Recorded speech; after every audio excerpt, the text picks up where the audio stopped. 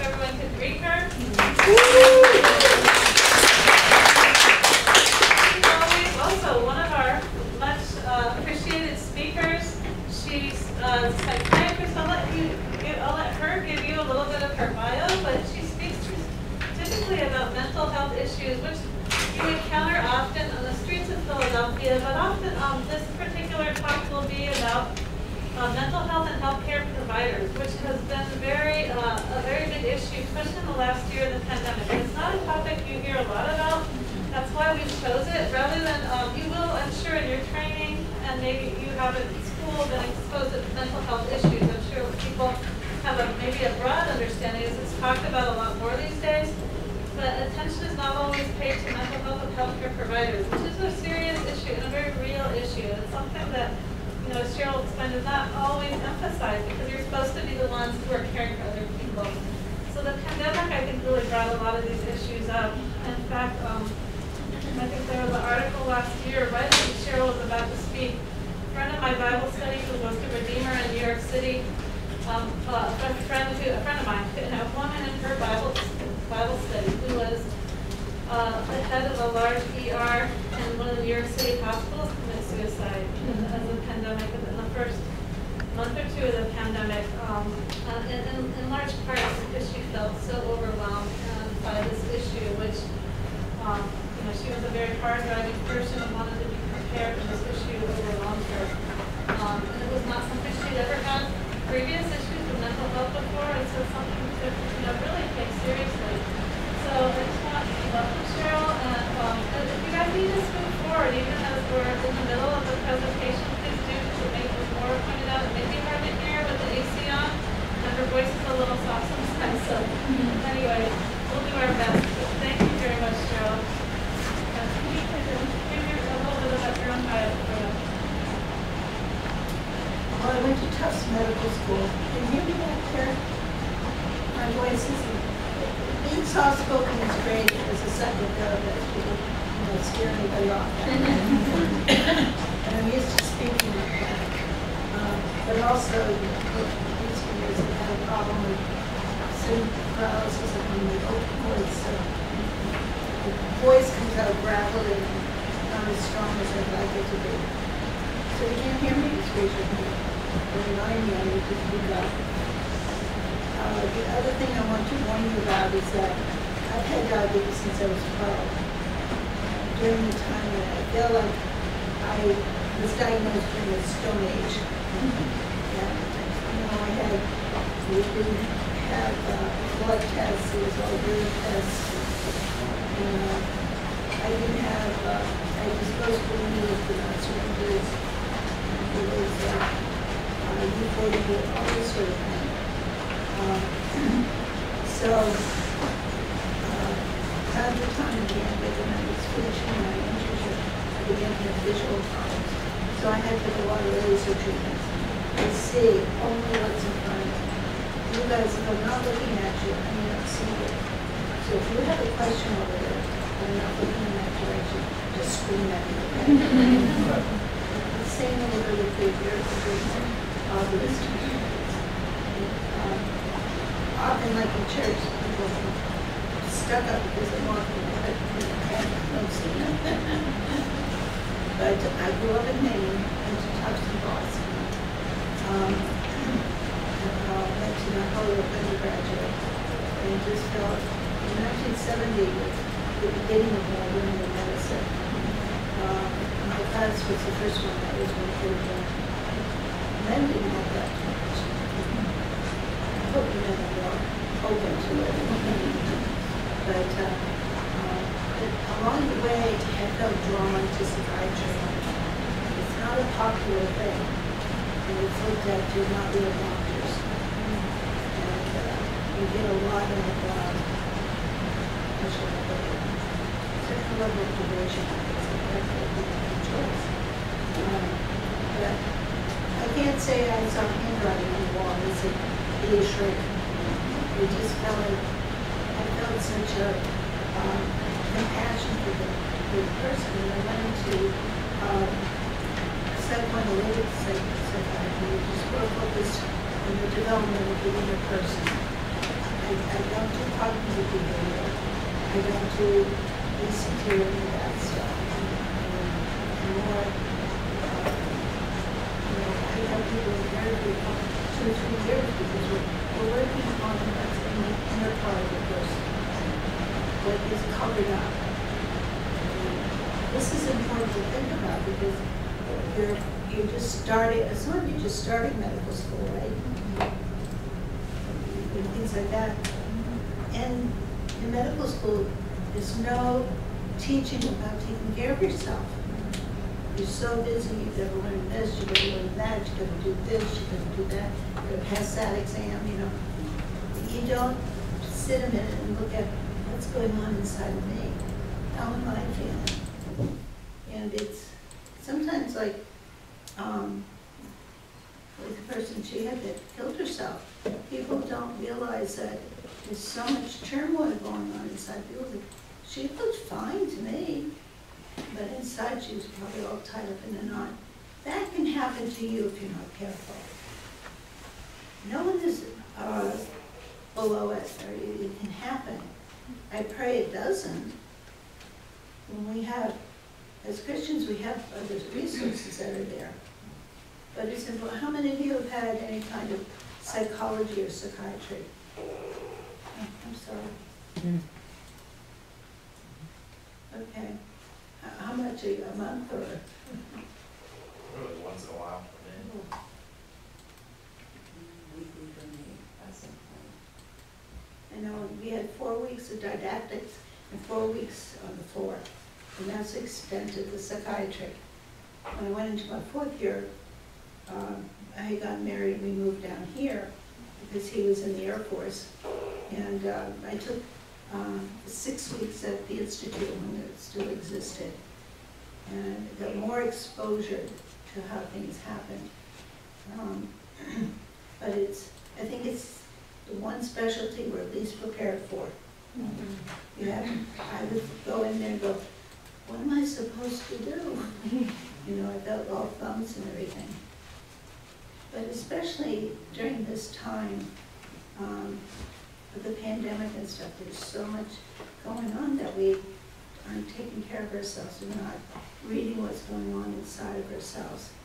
And realizing we may need to be able to talk to somebody. We may be going into depression. We may be getting to the point of feeling that uh, hopeless, helpless kind of feeling. It just feels like, pfft. and, and Christians do kill themselves. It do- Being a Christian does not protect you from doing that. Now, I'm not sure how God looks at it. I, I don't know the mind of God. I don't know if any of you do, but I don't. Um, But, um,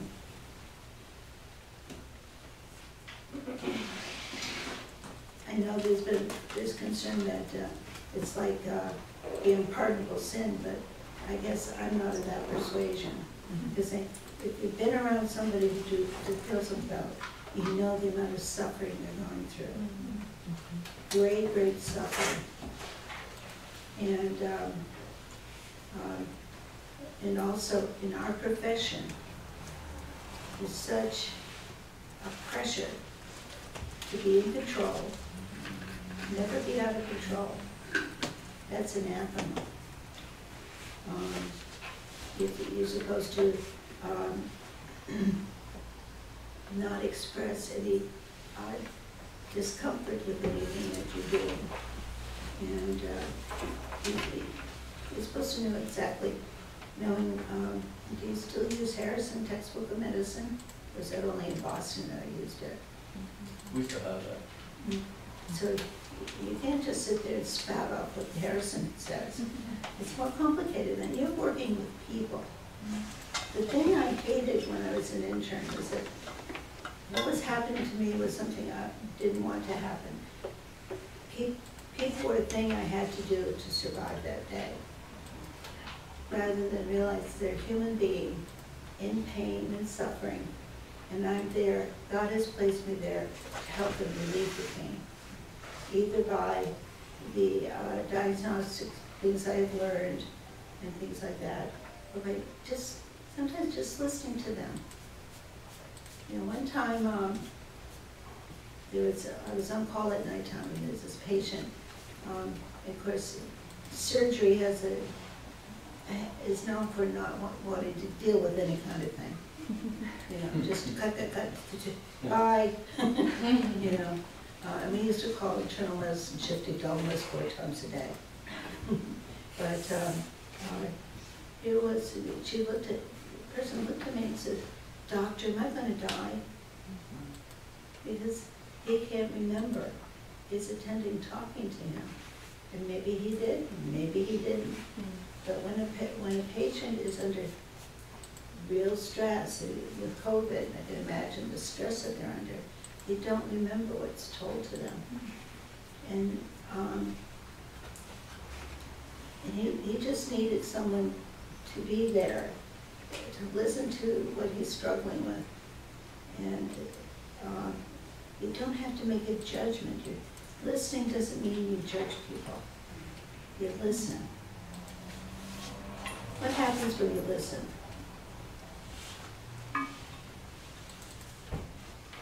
What are we doing when we, we want to listen to somebody? If it's my husband, this will tell you. It's a way of, of uh, honoring that person. Mhm. Paying attention. Yes, When they're listening to people, when they're suffering, yes. Being compassionate. It's a way of showing passion. It doesn't mean you have to judge them. It doesn't mean you have to give them advice. We're very good at giving advice, oh, don't feel that way. You know, that kind of, they do feel that way. It's accepting that this is the way they feel right now and listening to it. And how is God de- described? He's, he's a God who listens. And how many times have we poured out our heart to God in confidence that we know He's going to listen to us? Whereas someone else might just go, oh, forget you, you worry too much. And that's what I hear sometimes from other people, "Oh, that person's such a whiner. Kind of thing, but to, you're giving a beautiful gift to somebody just to listen, doesn't mean you have to fix it. We in medical profession want to fix everything. I don't know about you, but that was sort of my mindset. And we don't like it when we hit situations we can't fix. Like terminal cancer. Um, If someone is paralyzed, you can't, you can't mend the, the spine. COVID, there's elements of that that's it's really hard, we can't really fix it. If it goes something, you make it all better. In, the- in psychiatry, I can't fix schizophrenia. I can't fix bipolar. Um, personality disorders. They're the bane of my existence. But they're really hard to fix because they're stuck in a stage of development. It's hard to help a person who's forty to grow up kind of thing. And it's learning that, um, that what you have to offer them in the, in the kind of despair, and frustration that they're going through is to stop and listen to them. How many times have you, have you seen, uh, and I know I've guilty of it when I was an intern, look at your watch. You that, say, there are another twenty-five patients I gotta see. Um, you get this over with? You're so overworked. And what does that do to you as a person? It's very draining. I can't hear you. It's very draining. Yeah. Makes you less able to listen. Mhm. But what does it make you feel inside when you're listening to somebody?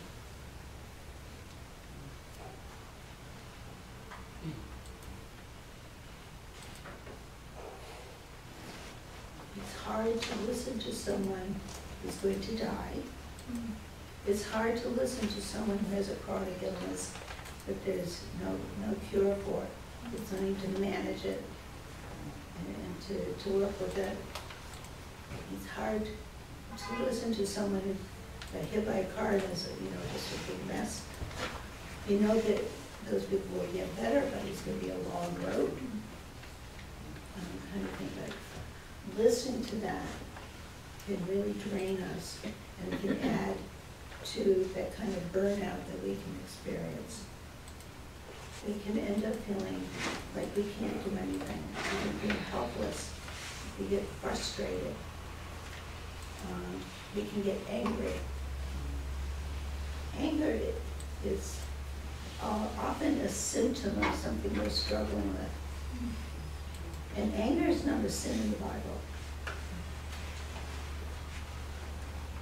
Anger is a feeling that God has given us, it's what we do with it that's the issue. And there's certain things that God wants us to be angry about. But there's certain things he said, be, be careful about your anger. He warns us about it. But it's, um, but many times we end up in a situation, not only we need to hopeless, helpless, frustrated, and then we feel guilty. I'm not a good Christian.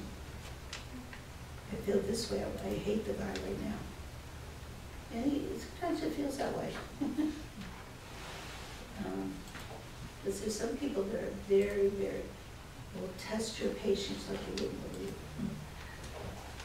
And, uh, and then that, um, feeling that, um, you're the worst, you're the worst doctor this side of the Mississippi or dentist or whatever, healthcare worker. It gets all internalized and, and it comes down on you really hard that you end up getting into depression. And have any of you studied depression? A few? Mm-hmm. What are the symptoms of depression?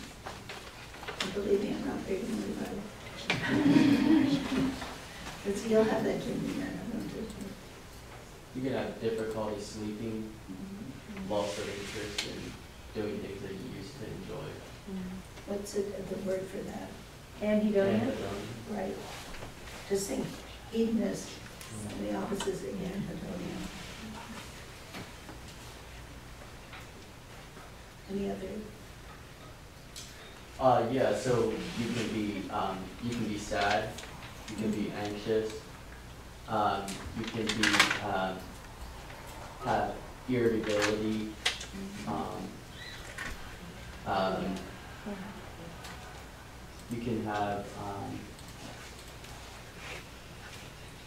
um, yeah, Overeating, self-enjoying undereating. Yeah. Yeah. It can be either or. Mhm someone who literally lose their appetite. I've been wishing for depression like that, but I, I got the pandemic 10. but I've had patients that they're almost in a red. And I've had others that are like 300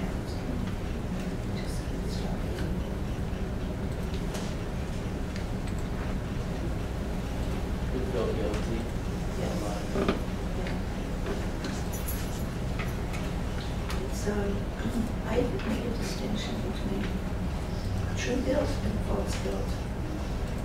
What do you think I mean by false guilt?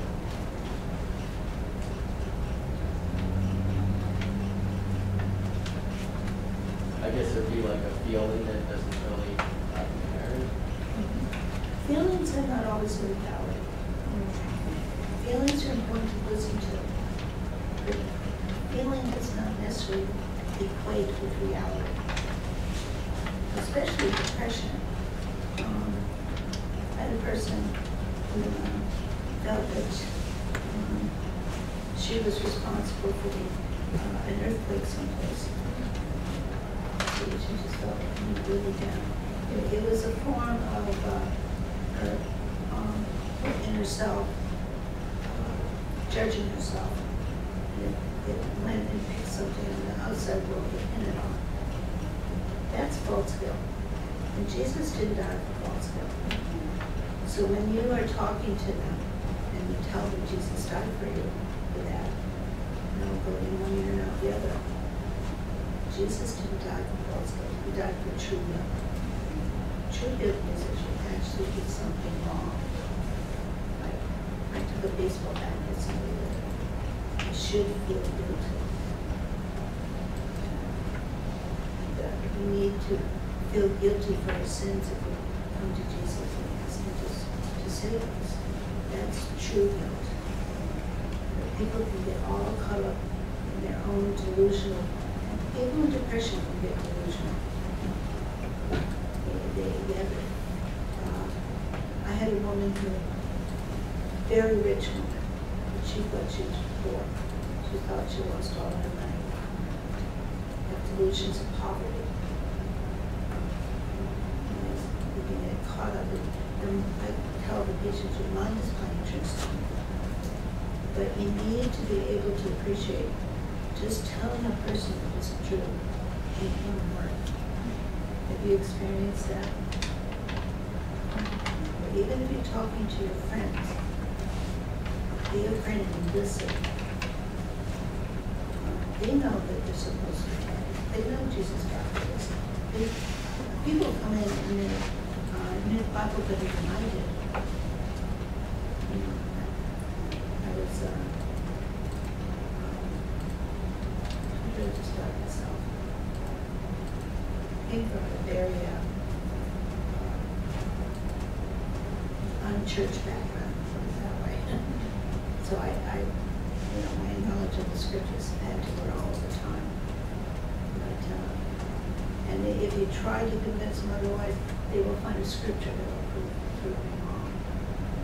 So don't get into that kind of argument with a friend or with a patient, you're going to lose, and that's not the issue. End up going through feelings of depression, you find yourself beginning to think into these areas where you start thinking that, that your feeling is real. And it, could get into, um, to a delusional, uh, and some get psychotic. It's not necessarily, and often that's part of it, uh, bipolar syndrome kind of thing. So, um, it's to be aware that our, our feelings are to be, um, listened to carefully. God gave us a mul- a multiplicity of feelings, He wants us to enjoy them. Those feelings He gave us enable us to be, even if it's hot as the hinges out there, we appreciate how beautiful it is. We appreciate the rain, these things that we're happy about, when we fall in love and all that sort of. But it can also trip, I call it trip, tripped on. He'll talk about that it has to do with the neurotransmitters and all that sort of thing. I think it's part of it, I don't, I use medication, a, there's a place for it. But At the same time, um, we're not two-dimensional people.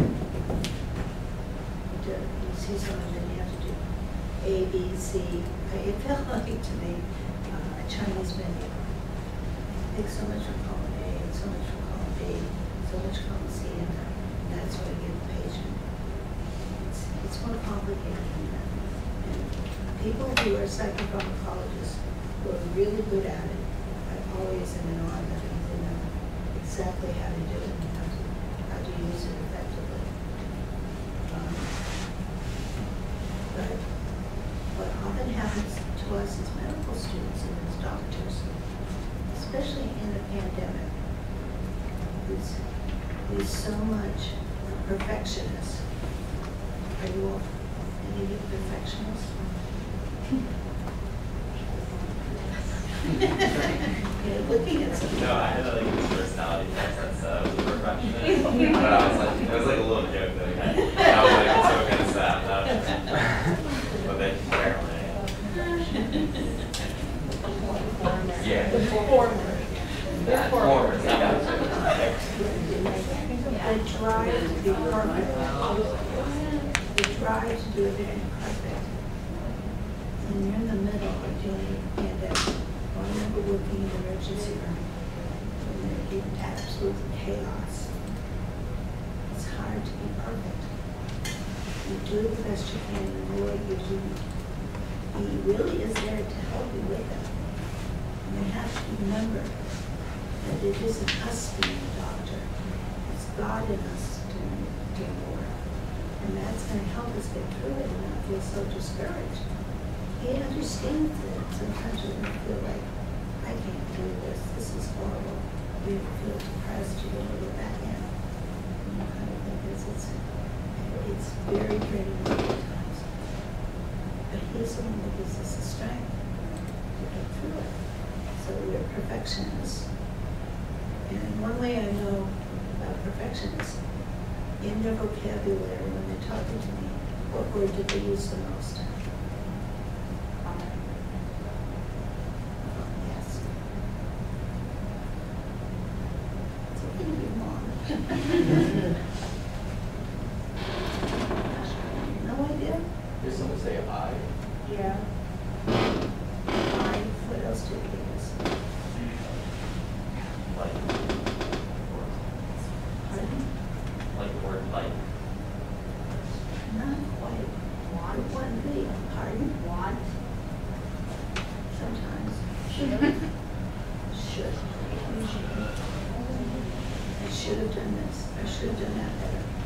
I should get all this done by such and such a time. Every time I turn around, I say, I say, you know, you have the tyranny of the shoulds. Because that's what they're living under, and that's the whip that you drive themselves with. I should have done this, I should have done an A. You know, that's it. And then it's another pressure.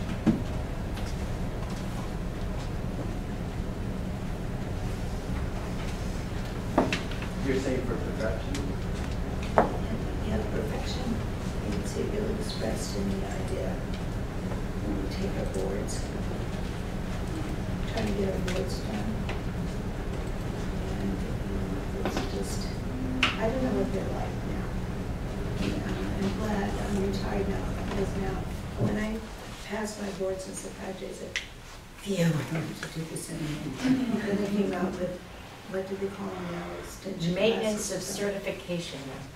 Pardon? Maintenance of certification. Uh, That's when I wanted to shoot myself.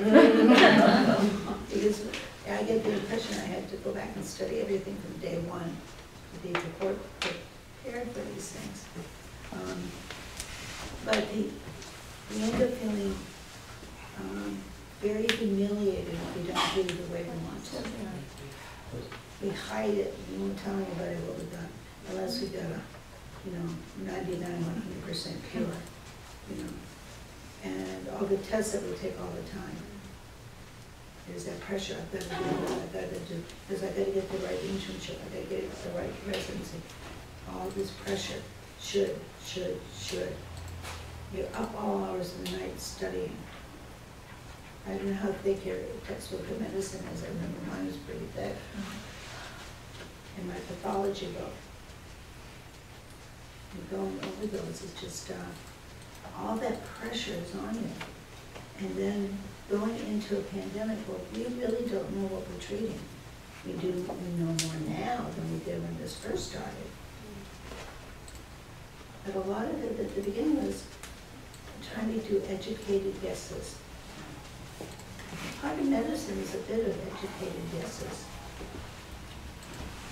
Putting all the pieces of the puzzle together. And some people are a lot better at it than some others but that's pressure on you.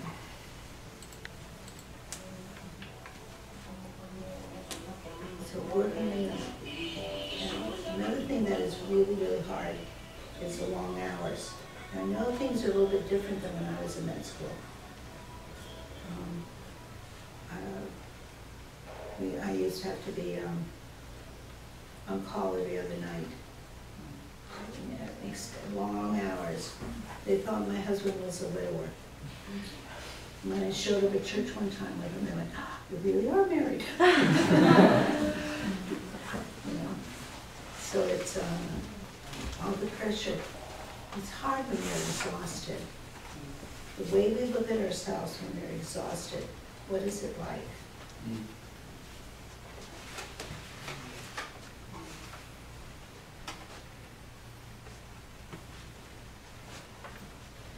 We look at ourselves like failures.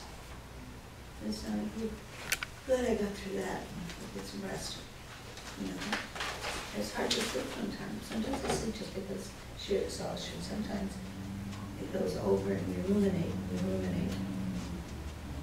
So all these things end up piling up. Exactly when it piles up to that point that becomes suicidal, you're not exactly sure it's different for everybody. I have, that, that- that's another kind of conundrum we fall into. We don't want to tell anybody we want to kill ourselves. Why?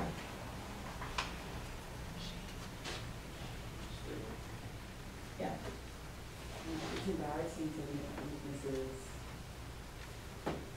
I, know it's one Sorry, you too. Oh, okay. Max. I was saying that, um, it's embarrassing to admit, uh, to admit weaknesses. It's really, it incurs shame to some extent. But why do we call it weakness? Where does that judgment come from? Why do we call it weakness?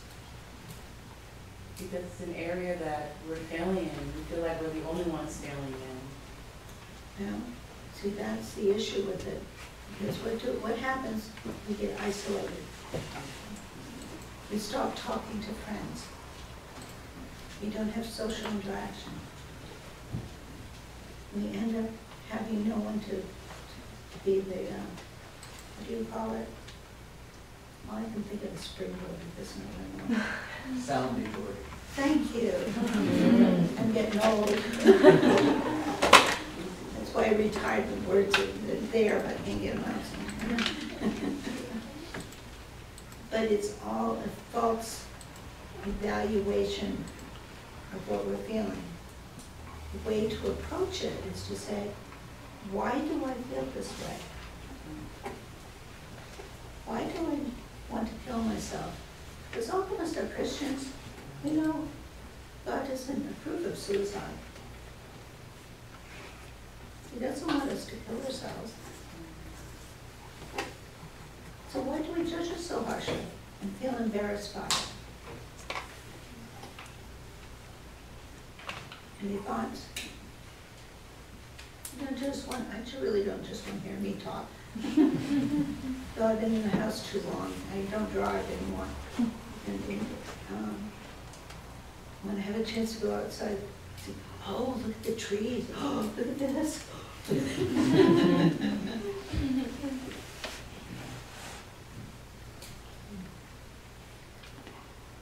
Yeah, I guess it's just like, uh, it really is such, it feels like such brokenness, Mhm. I guess, to be in that place. And so, um, exposing that, um, brokenness and weakness, Mhm. you know, in your life is very, um, it's very hard to be open in that way. Mhm. Um, I know also, uh, for Christians, um, it can be seen as like selfishness, Mhm. um, and so if that's how you feel, it would be like, um, you're condemning yourself if you Yeah, admitting that. and we keep it to ourselves, we don't dare tell anybody. And because we don't tell, no, I'll tell you, because we don't dare talk to anybody, it ends up like, you know how if you have a closet, you keep putting things in, and when you put that little golf ball in there, it's that one little thing too much and it just falls over. It still builds inside, it builds inside, it builds inside, and then it, it erupts, often a suicidal act. But it's saying, the way I was trained, and I think it's important, is learn the language of the unconscious. This is, it, the unconscious is very hard to understand. It's not logical, it's not rational, and it won't make sense. It's not supposed to. That's why our dreams come out so weird. I love dream interpretation, but I don't do it in public anymore because I got myself into trouble one time. Because it wasn't a very nice dream. Uh, But it's saying, okay, what is this trying to tell me? The feeling of shame, the feeling of uh, failure. Um, And, and especially medicine, we're afraid because of our licenses and how the, the boards will take it. And that kind we have that pressure on us. So we don't want to, we don't want to talk about it. But these are false uh, feelings about what we're feeling. It's like, okay, God, why am I feeling this way? Have you ever thought of asking yourself, why do I feel this way? In many ways, it's like saying, what I would ask, tell my patients is, like, what purpose does it serve to feel that way? It serves a purpose. It's not logical, it's not rational. Because it's part of what goes on in that part of ourselves. You know, we're like icebergs, we have a tip above water, and then a whole mess underneath. And if we don't pay attention to it, we're like the, the um, Titanic, they run into it and sink. So it's saying, you know, what is it trying to tell me? Rather than judging it, does that, does it, does that get us anywhere? No. We're stuck in the same rut. By saying, I shouldn't feel this way, I shouldn't feel this way. I'm a Christian, I shouldn't feel this way. I should be liberated in Christ. And all this, and Christ gives us the ability to understand how we feel.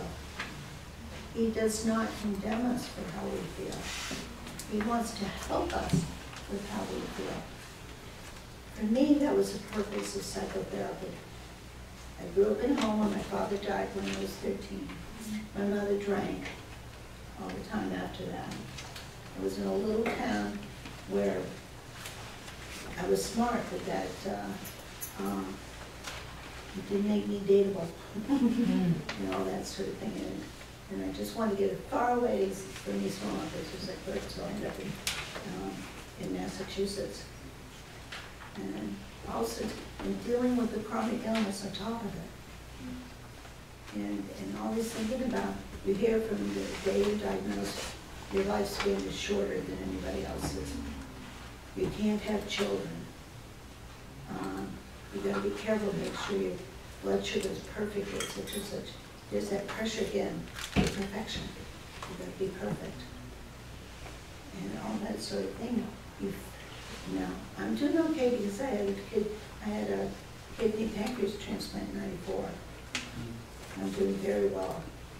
Uh, The, the damage that the diabetes did to me before that is still there, I can't get rid of that, but, um, I was sixty-nine in, um, in March. And I'll tell you a vignette, I went to uh, Boston University to interview for their, their medical school. And I even wanted to go there. But the first guy I got, here I am, you know, scared to death. Um, he said, you have diabetes. Why do you think we want to accept you? You're gonna die when you're forty. Oh. I oh, thank you. Mm. And then later on, the next person who interviewed me said, oh, I see your father's an engineer. Oh, he'll be able to afford medical school, but he'll be Wilford on, he's dead. I didn't get in there. Mm. But you, I was always living under that pressure when, and endo, when we did endocrinology and anything, diabetes. How did you feel about that? It must be hard to listen to all that. Well, what do you think? You know, so we had, I had all these pressures on me. So I think part of going to psychiatry was, you know, it allowed me to get the therapy I needed to work through some of these, um, you know, my mom was brutal to me. And, uh, my brother started drinking, in the last few years, he stopped drinking and became a Christian. So I finally have someone in the family. But it's, you know, that was all inside of me. I always felt like, I, uh, I just get into everything but the skin of my teeth. Hope needed somebody for me. Toast took people for me, you know. I, um, always felt like somehow I just got in and always felt like I wasn't quite good enough. I always felt like a fraud. Now, some of you may struggle with that. Often men, women more than men. Right, I'm not stereotyping or anything like that, but it's a feeling somehow I'm a fraud. And you're carrying that around inside yourself. And it, um, can get in the way of being able to be the woman or man that God wants you to be. He wants to know how you feel. So even as you go into your, um, do your classes now and everything, I know we have to do better on the boards. I know we have to pass a test and things like that, but you are not your exams. You are God, you are in God's image. You never, ever lose that. And this what helps us get through very trying times like doing the COVID stuff. How many of you worked with COVID kind of things? You did? What, what did you do? Me? I, I was a personal care assistant in a nursing, or an assisted living home, and we had Yeah. COVID outbreak there. Mhm. Well, I know, um, some of, some of us in, um, my age group feel badly that they're not in the front lines with the younger people. I feel like they should, uh, get out of retirement or out of whatever they're doing now and get back into helping out with what's going on in the hospitals and everything. We have to again be realistic. What I, um, I remember I used to run up and down the stairs when we did codes. You saw me getting up the stairs this last time. We, you know, things are a little bit different as you get older.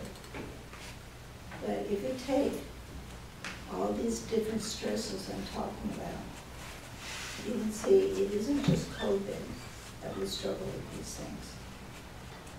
We struggle with them right from the beginning of medical school. And it's very important. Um, some things, um, the advice I did, don't get isolated. Now, I don't know how that school does it now. For me, at Tufts, we had, we had scholastics for two years and then two years on the floor. I hear it's different now. That's the same. About the same.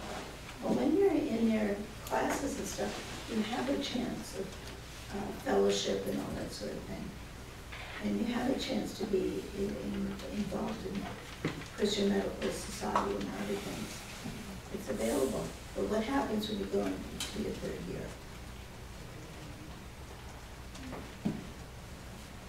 See people, what happens?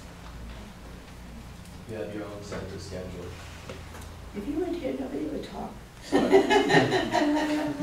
you. That's when we begin to start getting isolated. We do our rotations with fellow students, and there's some interaction. But the, talking about the pressures that we deal with day to day, one, we're ashamed to tell anybody that we're struggling. You're supposed to be perfect. We're supposed to know even, even though we have, haven't started using it. And, um, um, and our schedules are so different that it's really hard to meet with people for any kind of fellowship. And we have to really work against that isolation. What are some ways do you think that would help that iso, get out of isolation?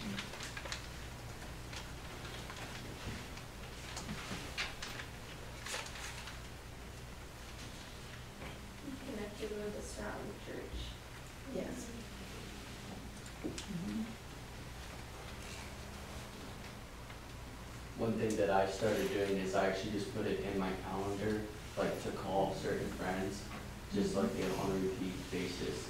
That way, I don't always get it done when it pops up, but at least it's there to remind me, like, okay, I should be reconnecting. Very good idea. Get that contact done, um, because the, the lure of medicine is that we can tell ourselves we're too busy. That's the biggest lie Satan wants us to think about. I'm too busy. Gonna be busy. It's the nature of the animal. It doesn't mean that we should be so busy we cannot maintain contact with other human beings, that we can share our struggles with, and that we can pray together. Even if it's just one person, one good person, that you have that.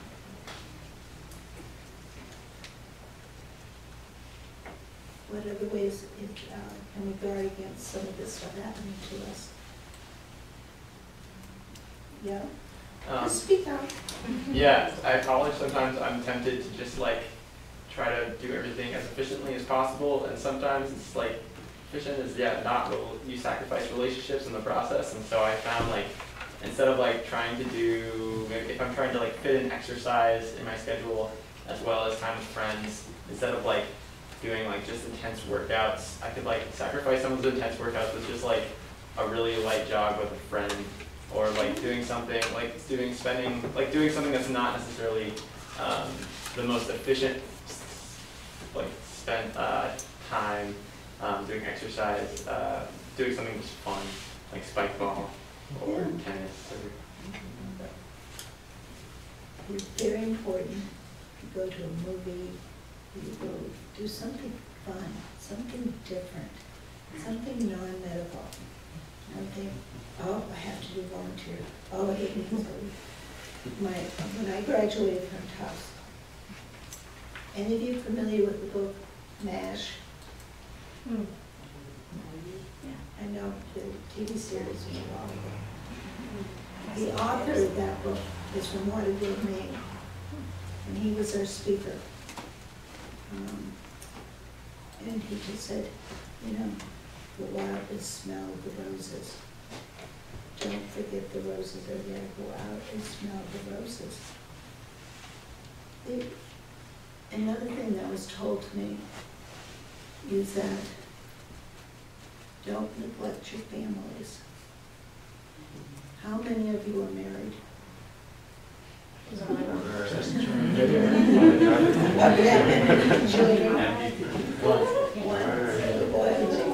Uh, little boy, he's uh, about a year and a half. Oh, that's, that's precious. Oh yeah, it's amazing. Yeah, I couldn't have children because of the diabetes, I was so disappointed with that. But, uh, uh, the thing is, don't separate, it's part of the isolation, don't separate yourself from your family.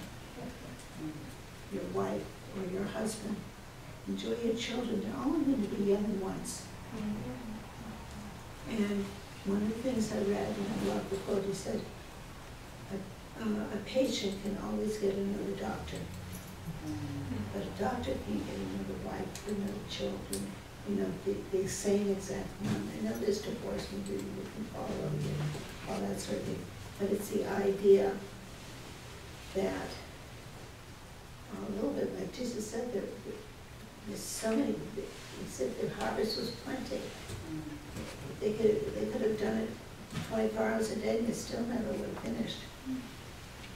We can be, we could be a doctor twenty-four hours a day for seven days a week, and still get that. COVID, took how many, how many thousands did we have? And before that, we had HIV. I was an intern when that broke out. And learning how to deal with all that. Think all the times they flew all over me, we had no way to figure it out. You know, the ramifications of all that. So it's important to not isolate yourself from your family and your wife or your husband. My husband was so important sometimes because I would come home sometimes just totally devastated. Internship year was the roughest year of my life. The first six months, if I was gonna kill myself, it would have been those six months. Um, I really did, it was, to the grace of God, I got through it. And it's almost like all of a sudden there was a point where I crossed over and I felt like a doctor. I felt comfortable. I knew what I was doing and the pressure eased up. But I got hit with everything, um, you know, right away, all the hard rotations, and just so, felt so overwhelmed. And often, I'd come home and, to me, crying is an outlet. I don't do it all the time, but sometimes it's an outlet for me. Especially when I can't, I can't put into words what I'm feeling. And the times you would just, you would just sit with me. You listened to me. You didn't tell me it's gonna get better. You didn't tell me, you know, it's okay, all people feel this way. For once, and he's French, he grew up in the French know he can talk. And sometimes I can't keep up with him to figure out what he's talking about. But he kept his mouth shut and just listened. It's a beautiful gift that you can give somebody. And as, as you go through internship, it's a beautiful gift to have a friend or a family member, I don't know if you still, um, my parents weren't available to me, so I didn't have that. But if we do have that, it's, a beautiful gift to have that. And it increases suicide. But the main thing, um, I plead with you, don't keep it inside. Don't feel like you're inferior because you feel this way. Because I think you'll find if you talk to anybody, they have felt the same way. Every article I read last night, um, I'm a procrastinator, what can I say? Um, That's the idea. People found out other people felt the same way they did. They took the risk of talking about it. And I did find there were other people um, in my training that felt just like I did. But if you keep it all trapped up inside, it's gonna eat you alive. And that's when Satan can get at you. Sometimes when it's that internalized, we don't, we don't uh, grab hold of the things that God has given us to help us through. It's hard to pray. Then we beat ourselves up because we don't pray. Have you done that? I'm sure you do. Um, uh, Or or we stop reading the scriptures every day because we're so tired. We're resting in the Lord literally. But there's so much in Lamentations and the Psalms that we can get strength from. And one of my favorite passages is Second Corinthians. Um, There's a part there. Let me see if I can read it. The print's kind of small, so I'm gonna do it. Uh, Anyway, the- Paul was talking about that, and the fellow, his companions, were so in distress. It was shipwrecked, this happened, that happened, and it was just so bad that he despaired even of life. But he, he was able to draw on the gifts that God gave him. And, um, and another passage I love is, um, the idea that God holds me in his hand. And, uh, I can rest in that. And trying not to, the problem we get into, I think about, remember when, um, Peter was walking on the water? When did he sink? When you look at the waves. Mm. Right. When do we sink? What are our waves?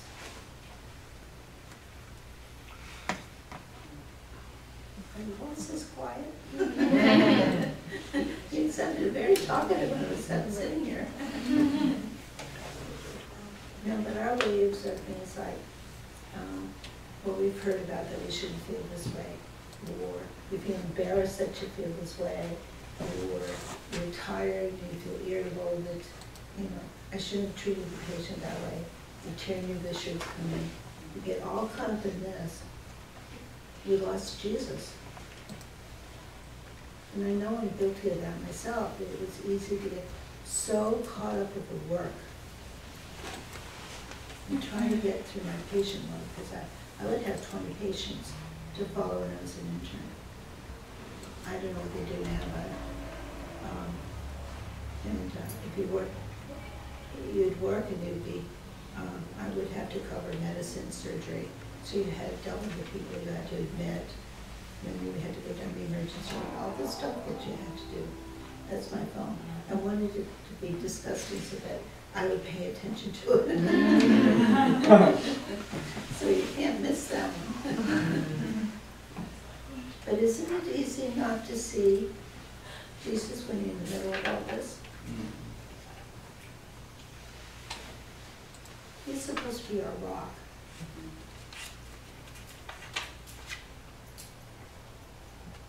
So we can end up with, um, um, like last night, um, some of the, the myths of suicide and depression for the Christian are some of the things we covered. I We're not supposed to get depressed. We're not supposed to feel suicidal. You know, we're not supposed to, supposed to, it goes on and on and on. it's going, what, what is it really saying? How would you translate it into another?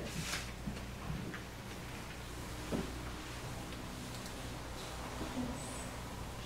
Shame. Or you know? It's false shame. And we're gonna do this again, there's false shame and there's real shame, true shame. False shame is what?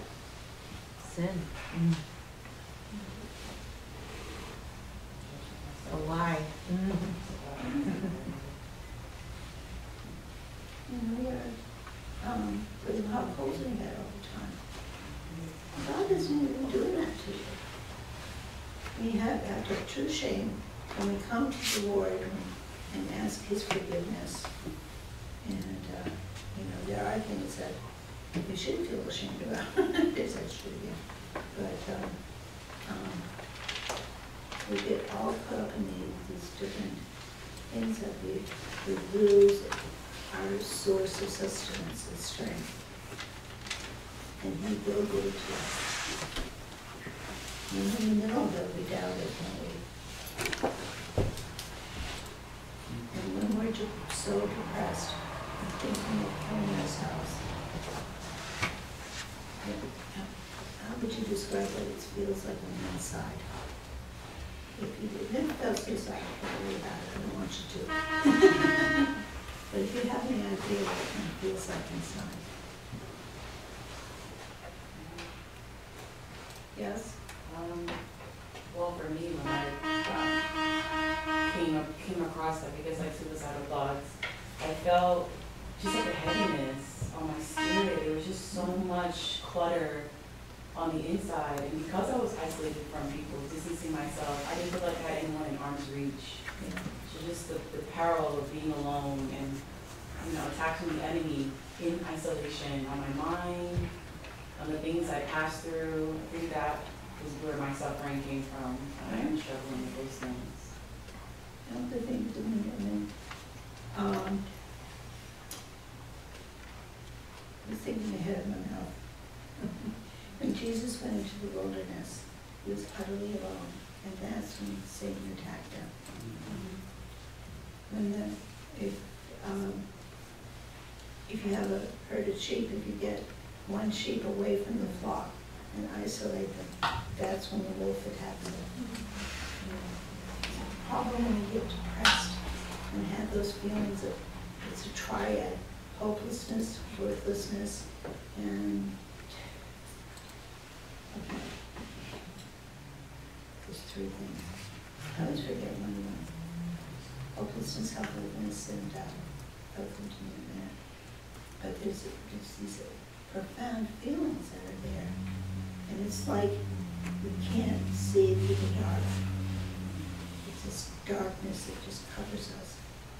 And it's hard, and we, the- another analogy that's often used is like, there's a fire, and the little girl's on the top of the, the tower, and is yelling out for help, and her father's down there saying, jump, I'm right here, jump.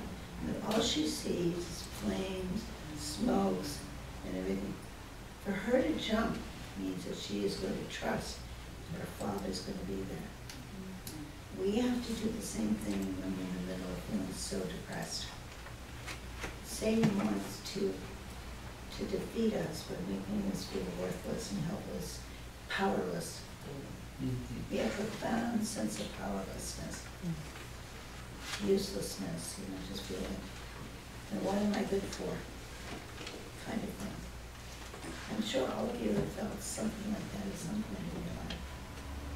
Some of us can feel it really, really intensely, especially if there's a family history of depression. We may have a vulnerability there that we need to to think about. Others may not have that, but if you, it gets worse if you take drugs. Even marijuana, can make it worse. It's not the wonder drug that cures everything, mm-hmm. Or any of the other drugs. You know, that, that can, and the worst one is alcohol. Many people kill themselves after they drank something, to quote unquote, to get their nerve up. No. They're often intoxicated and that kind of thing. And, uh, now, how do you think, how do you think you assess a person if they're suicidal? I know it's good to ask them directly if they're feeling suicidal. Bingo, that's the first thing you ought to do. A lot of people don't, you know why? They're afraid of the answer. Right. They're afraid they're gonna say yes. Yeah, then what are they gonna do?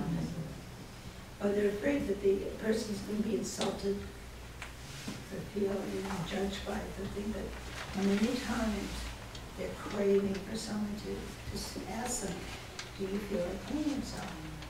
When I evaluate the patient, the first, the first day, I always ask them if they have gone, gone through things so bad that they're so depressed, they feel like, why not end it all?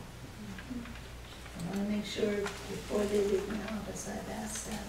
Mm-hmm. And by doing so, the patient relaxes, he or she knows I've asked, and they can talk about it with me. And the other thing I do is, I said, um, I, you know, you gotta find ways of, of, um, phrasing it.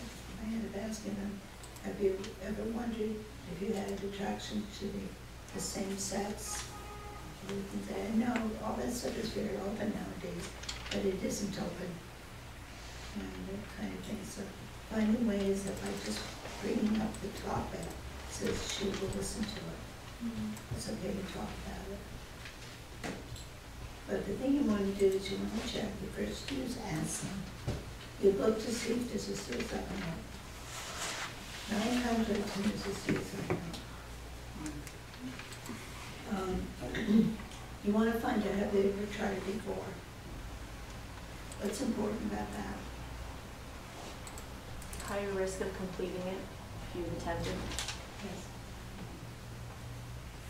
And if, um, I know, um, people with bipolar disorder, especially with the dramatic phase and stuff, they have a higher rate of suicidality than some of the other diagnostic categories.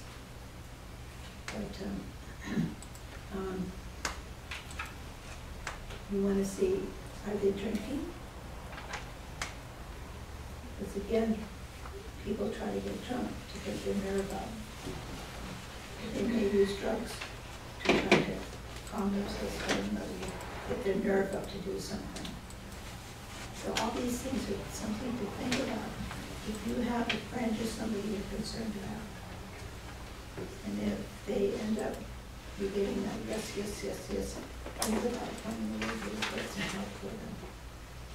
Don't think you're the one who has to cure it. That's what I find sometimes among Christians. They feel that they're the ones who're supposed to fix everything. You know, it's, it's a complicated problem. Life is complicated, isn't it? And, um, um, and there's, there are all sorts of different things you can read about, different things to look for. Um, they find that men more than women try to kill themselves. The women catch up a little bit later. Um, uh, Age, nowadays though, it, um, we're seeing much more young people trying to kill themselves. than we did statistically before, it used to be, you know, middle life, middle age. Um, for, um, drug addiction and, you know, the, the demographics of someone who's gonna kill themselves. But one thing we often live under the illusion, I'm a medical student. This will never happen to me. I'll never get depressed. I'm a medical student. I have this important work to, to do. I'm not supposed to feel crappy. But a medical student is human. Just because we're doctors doesn't mean we've entered a different uh, criteria of human beings than the rest of the world. That's why often we feel guilty or feel shamed by others. Um, That, you know, we're doctors. And I know my husband's a dentist and there's a lot of pressure even in dentistry to carry themselves. Even dentists have one of the higher rates of suicide. And psychiatrists do too. Um, But it's, um, basically, um, I've lost track of time. I want to be able to give some time for questions. But basically, good mental hygiene. We have to learn to take care of ourselves. We can't neglect ourselves because this is what I learned when I went psychiatry.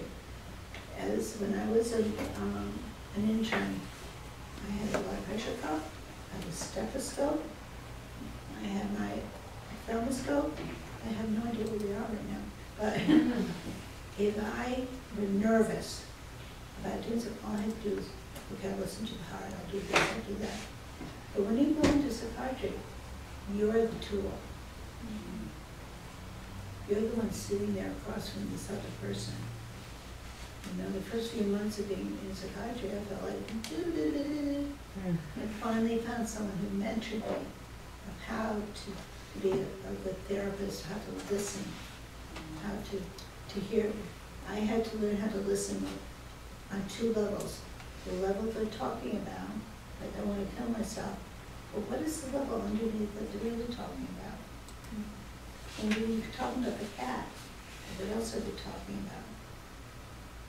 And this kind of approach is important even with um, any kind of medicine you go in. Because people don't always talk about things directly. They talk about it indirectly. But it's, um, realize it, let yourself be human. Let God, you know, use God. He's, he's not gonna be the one criticizing you. Satan is one that's always talking in your ear. What's the passage, yeah, I know it's between Genesis and Revelation. It says, you know, Satan's at your ear, he's always talking to you. He was always telling me, oh, you're such a failure, a fraud. You don't know what you're doing. You only go to medical school because you filled a quota. All the lies that I was listening to. And it took some work to be able to undo those lies. Many times God doesn't necessarily swoop in as a divine psychiatrist and take all your conflict away. The process of the work of doing it is important sometimes. And in that struggle, God works in that struggle teach us something very important. And as you're working with your patients, uh, I don't know what the specialties you guys are thinking of, but in their struggle of getting better, God teaches them something. Suffering is never wasted. God always teaches us something. So, don't give up on yourself. Remember, you're a human being, and you have a family. Don't get so sucked up like a John and the whale that um, you forget what's on around you. Internship period is a big exception. I'll I'll give you some slack on that part. But, um, um, I hope this was helpful. And, uh, now, are there any questions? Questions, yeah. I don't, I don't know why people crack their knuckles, so don't ask me. I can't do it. Okay.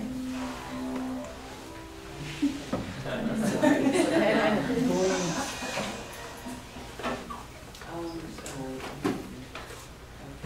um, I actually had a question about how you, as a psychiatrist, dealt with, I guess, like the balance between identifying, okay, this person is being attacked spiritually, um, versus like they need medic, so I don't know, okay, let me, let me try to rephrase my question.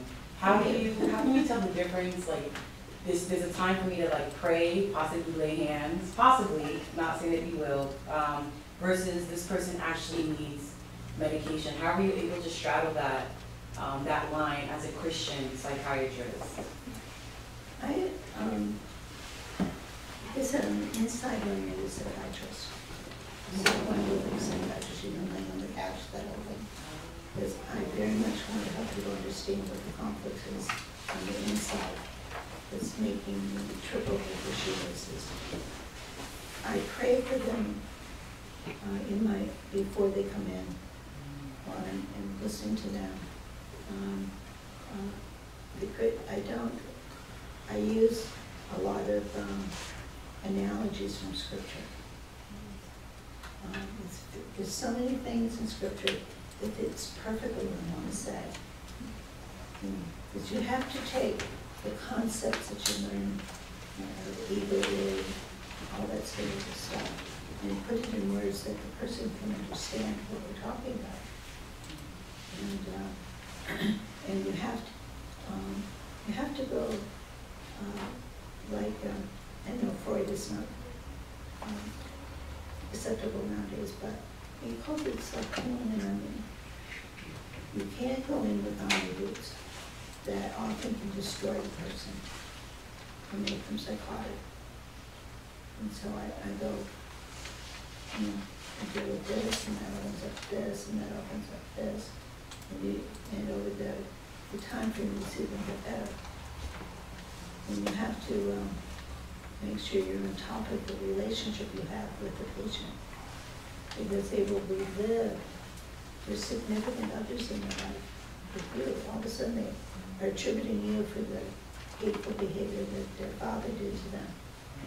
Or all that sort of stuff. And, um, I think, well, something we really need to look at is, um, what did you, when you do that to you, where do you think that's coming from? I don't tell them what to do. Now, if they're on a bridge, and have one foot over the bridge, I will tell them what to do. But in therapy, you want to bring it up and say, well, what do you, I always ask, what purpose is that behavior serving? Where do you think it comes from? And it's trying to encourage them to look deeper inside themselves. Um, And it becomes a tool that they can use. So that if something comes up after you're all done, they have an ability to think about it.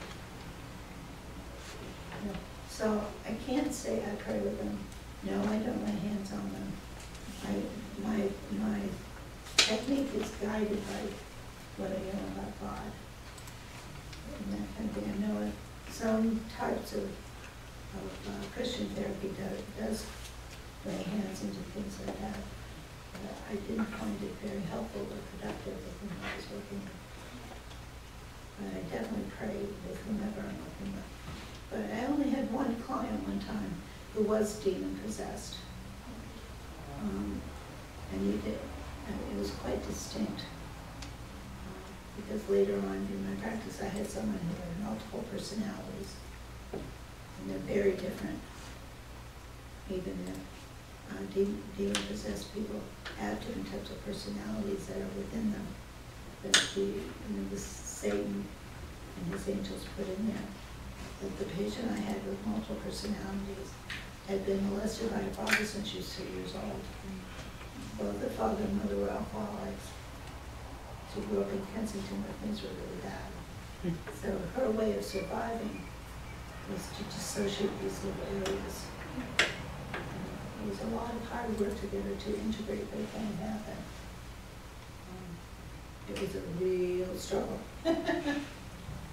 But she was a delightful person. The likability of a patient really helps. I don't know if any of you, if you have someone who's a real bad curmudgeon, it's hard to treat them. I, oh, I gotta go into curmudgeons.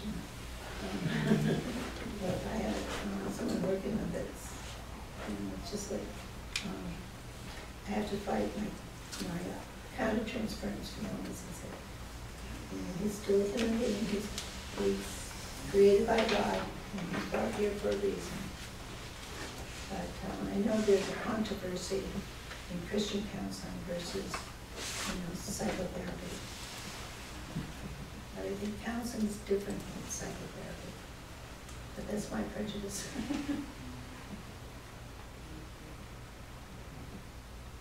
Any other questions? Yeah. Cheryl, can you comment on the issue today of the right to, to suicide? I mean, we're all facing this in the medical profession, Euthanasia. and uh, it's becoming more and more, so I thought that'd be an interesting thing for you to comment on, not to put you on the spot. Gee, thanks, dear. Wait till we get And one thing we have to face is we have a culture death. We have a high rate of abortion. And we're fighting that all the time. And now we have a high rate of euthanasia, physician-assisted suicide. And um, I get a um, a monthly letter by uh, Prevention of Euthanasia. And it, to me, it just strikes me like, have any of you read the book Nazi Doctors? It- It's chilling. that They took the same Hippocratic oath we took, but they did experimentations on the Jews. They did all this horrible stuff, and they did euthanasia. In Iceland, it's required that if you have a Down syndrome child, you have to abort it. Mm. In some countries, yeah, yeah, and in some countries, it's starting to get that way. And then there's certain countries like Belgium and another one that, um, it, um, you can apply for, um, having physician-assisted suicide. And they've opened it up even to, um, chronic mental illness and things, which I- I'm very much against. No matter how bad things are, they're, to me, they're, um, in the image of God. And I don't, he doesn't want us to murder. He doesn't want us to murder, uh, children. He doesn't want us to murder ourselves or another person. But we have to see that we're in a culture of death that we are struggling with right now. And there are certain states that also require that if you have a Down syndrome baby, you have to abort, which I find absolutely disgusting. Mm-hmm. And some of you are going to be, I always had the privilege of being able to say, right of conscience, I can't do abortions because I don't believe in it. I can't do this. You're taking that away. Mm-hmm. I mean, so there's certain aspects of being involved in whatever organization, a group that you can, you know, support and help out. Uh, I don't know if AMA is doing anything, or CMJ is doing anything, but to uh, support legislation that's against the the legislation of um, taking away the right to choose. You know, uh, The doctors should be able to choose. And I don't know if you run into that um, yourself. You, Laura, I'm sorry. have you run into that with uh, freedom of conscience? Uh, not yet, but most folks, I work at Esperanza, so most folks that come to Esperanza know that we, you know, there's certain things that we will and will not do. They kind of know that coming in. I've had a few, um, families who, um, sought certain procedures and stuff with other clinicians um, for whatever that was, and then came back later after, after the abortion was done, or after the intake for the um, identity change was done. Um, We still can take care of them post, post whatever, we just won't facilitate. Um, Well, that's how I approach it. I will, I will help make sure the patient is cared for and all that sort of thing, but I didn't do the actual abortion. mhm, Because we didn't have to do euthanasia, that's more of a problem now. mhm. The first, we picked up first in Belgium and it's kind of moved out. In the United States. Yeah.